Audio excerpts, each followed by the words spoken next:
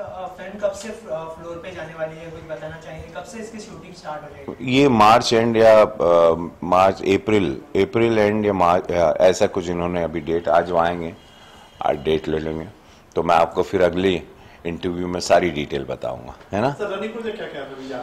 पंडित जी बताइए ना ब्याह कब हुई धमाका मचाने आ रहा है होली पर और ये पूरा देश इसका इंतज़ार कर रहा है क्योंकि भाग वन बहुत बड़ी हिट थी भाग दो लेके आ रहे हैं। और UP Bihar Mauritius Fiji Suriname इसको ऑल ओवर वर्ल्ड हम रिलीज़ करने जा रहे हैं। मुंबई, पंजाब, नेपाल, कलकत्ता, दिल्ली यूपी तो ये फ़िल्म एक बहुत बड़ी फ़िल्म एक हमारे बैनर से आ रही है। उसके बाद नसीरुद्दीन शाह जी के साथ हम अगली फ़िल्म बना रहे हैं, तांडव।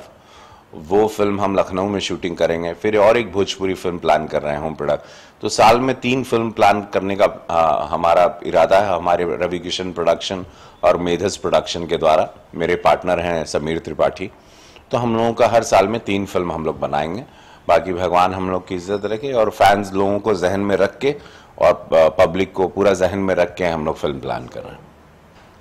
Thank you